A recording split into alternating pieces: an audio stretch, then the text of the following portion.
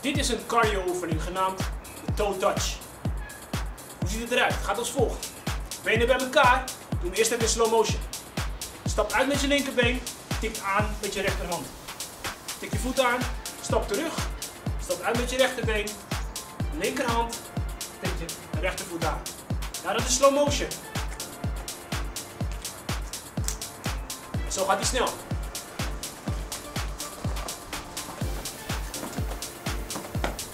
Gezien? Dat was het.